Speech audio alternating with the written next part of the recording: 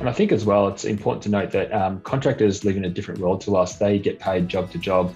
And it's different from employees, so they're under uh, their own time pressures as well to, to get in, get out, um, as they say. And what's really interesting is um, if you're a company that uses the index to, to look at the contractor um, scores that you're getting and then look at your incident performance as well and see if you can uh, make a link there as well.